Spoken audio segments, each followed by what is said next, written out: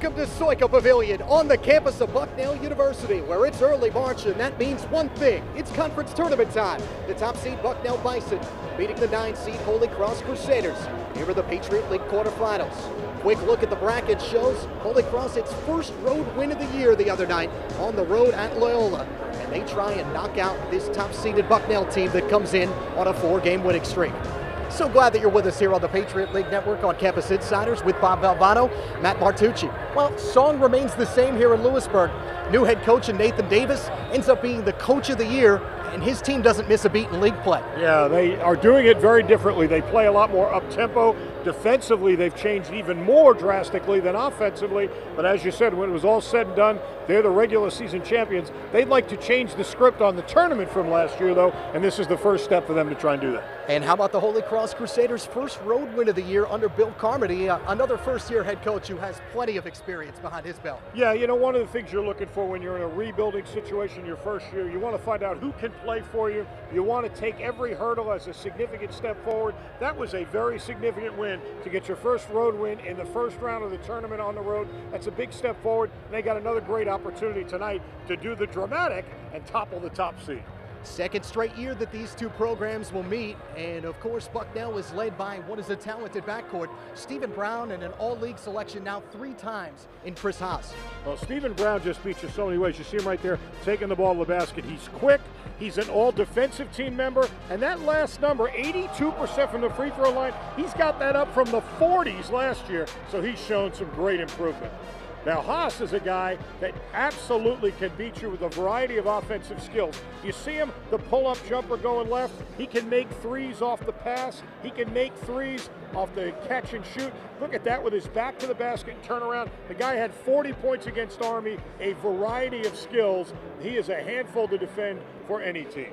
As for Holy Cross, the, guy to watch for the Crusaders, he's a freshman and he's going to be a really good one, Karl Charles. Yeah, you know, when you play a system like Bill Carmody plays, you need a guy with unique skill sets. Karl Charles is one of those guys. And look at the numbers in the first round game here in the tournament 23 points, six steals. He plays defense, he can face the basket. You see him put it to the floor there. He's already good and he's going to do nothing but get better.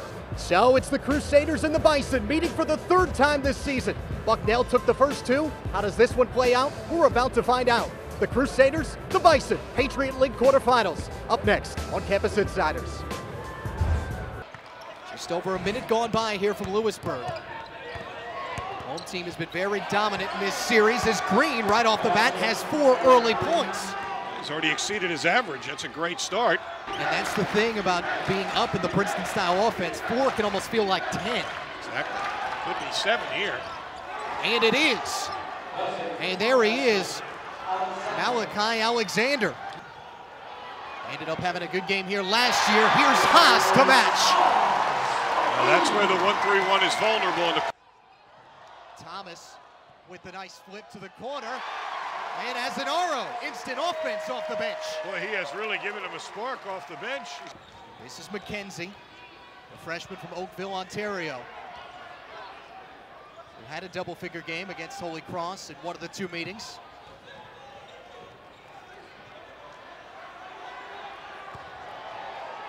And McClay using the baseline. A battle so far. Green continues his hot start.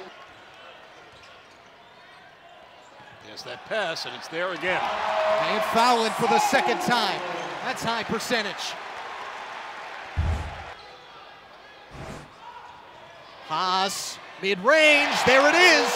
Nope, come, it's deeper. You can't come off that guy. They looked right inside from the top. Alexander trying to use that post. One and done again. And here's what the Bison want to do. Frazier, timeout Holy Cross.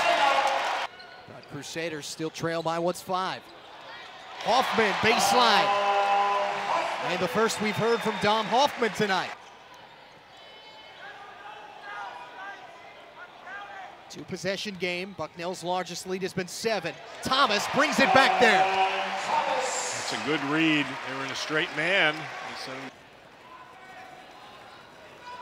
Thomas finds himself open and cashes in. And finish it. He's done that, as you said, twice. Once from the baseline and once there towards the middle. 41-31 Bucknell, but again, Jehyve Floyd, something to say about it. He'll go to the line. There's a good defensive possession for Bucknell. So they've had a lot of movement, a lot of cutting. And Green Oh, has man. to force the issue. They made him earn that one. That was a tough shot. Nine minute mark of the second half. Alexander and the Crusaders still in it. Champion It's 10 on the shot Oh, clock. great block. At the last second. Over to Bucknell. What a terrific block. You know, that's what you love to see. Young man struggled at the free throw line, just almost airballed one. Look at him come from the weak side there. He's the primary defensive responsibility of Husek. Look at it come across, time it, clean block, and then turns into a turnover as it goes off of number 42. Frazier. Yep. Good kick out.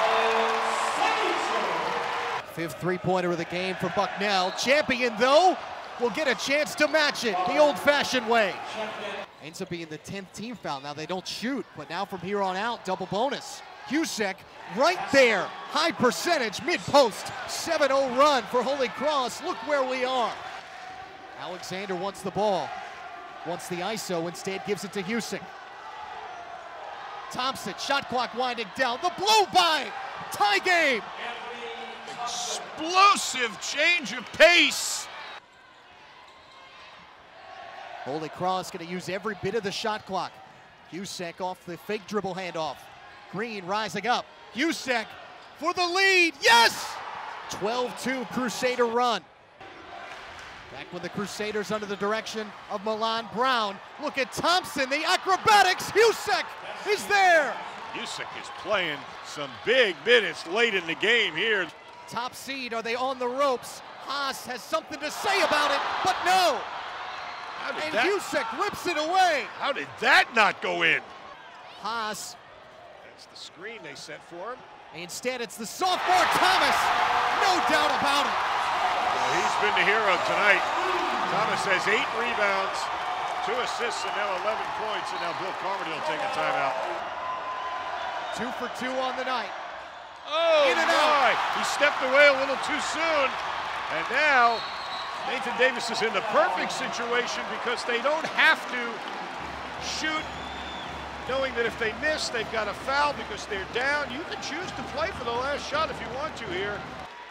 Down to 17 seconds. Brown, 15 seconds. Now at 10. Gonna take his time. Thomas, six seconds. Hass for the lead, can't do it. Husek, overtime here in Lewisburg. Thomas thinking about the lead again. Yes, sir. Boy, he just has some terrific composure. Can Look they, out. Can they separate? It's Thomas in traffic too much. Fallon with the jump hook. So athletic. We talked about that. I thought they might deliberately try to foul him since he's only a 49% free throw shooter. Zach Thomas has been the hero a couple of times. This time, Ayers making Frazier. Beautiful job again of drawing the two defenders at the top and then making that pass. Actually, it's Charles who wants to create. Nope. Thompson from deep and rattles it home. Oh my goodness. 130 to play. Can it? Husek for the second time. Goodness. Step out, big fella. If he doesn't have the three, let him look inside or look for somebody else on a drive. But he needs to handle it on this possession. Here he comes. 18 seconds to go. There Karl it is. Charles There it Husek is. off the separation, left wing, left up on the rim, and a foul staying at this end. Thomas. This is the big one. Three-point game, 9.1 to go. Now, do they foul? Foul or play? Foul or defend? What's the choice? Let's see. Here comes Thompson. Looking for a Husek screen off the dribble. Thompson gets hit. Champion.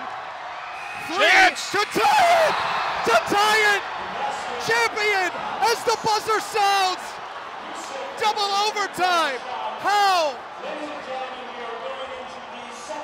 Did he get it off? Looks like he did. Well, the two questions did he get it off and was he behind the arc? And I think the answer to both of those is yes and yes. We'll find out. Oh, my goodness. Let's take a look. There's the first shot. He dribbles it immediately to the corner. It's off in time. It's behind the line. That's going to be three, folks. We're going to double overtime. An amazing game here in Lewisburg. Oh, he's way behind the line, not even close. And th- there's the line. Uh, They, have already uh, counted it good. The officials have walked away from the press, the uh, scores table. It's good. We got an extra five minutes to come here from Lewisburg. Now, a senior laden Army Cadet squad is who one of these two teams will get. Alexander deep in traffic and the lead. Haymaker for haymaker, punch for punch.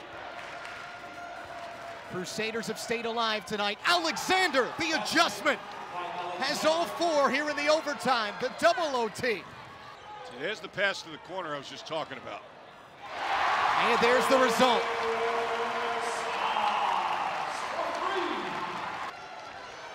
Battle of Wills. Who has it left? Charles with an excellent cut. And who else? Husek. He's been sensational in the overtime. Charles Dangerous pass to Hass, who nearly had it taken away. Frazier for the tie. Can't. Fallon. Big rebound. Missed the layup. Hoffman keeps it in.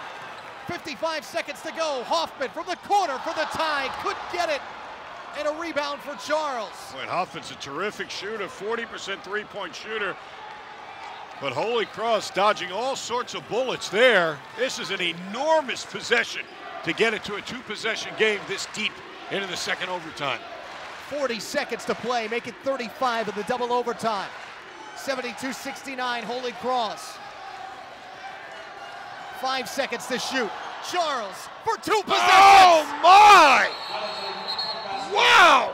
Quiet for much of the night, and with the season on the line, the freshman bangs it right in the bottom. 10 now for Karl Charles. What a terrific pass, and what a calm shot. Sets his feet. He's only a 27% three point shooter, but you wouldn't know it from that release. That was a terrific execution. Got to get a quick one. And Brown and company taking way too long. Brown with seven seconds left heaves a three that's off the mark. Final two seconds, and they turn it over. Over to the far Davis sideline. No fouls, two seconds to go, and Holy Cross is going to spring the unbelievable upset. The top seed in this Patriot League tournament, the Bucknell Bison, go down here in Lewisburg. Double overtime thriller. And the Holy Cross Crusaders keep marching on. Heading to West Point for a matchup with the Cadets. Wow. How small 77 72, once again, the final score.